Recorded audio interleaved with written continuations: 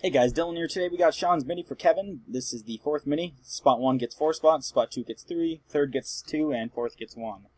50 names and three randoms. Good luck to everyone.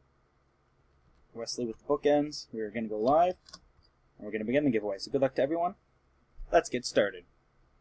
Wesley's on top after one. David's on top after two. 005808 is our second random. We're going to copy and paste that in the thread. Then we're going to verify that it's 858, as we do have 858 May 23rd. And the top four. Good luck, everyone. Brody is getting four. Wesley is getting three. Adam is getting two. And Curtis is getting one. Congrats, guys. Head to the main. Take your spots. And good luck to you all in the main. 005821 is the third and final random at 858. Congrats, top four. Head to the main. Grab your spots. And good luck to you all in the main.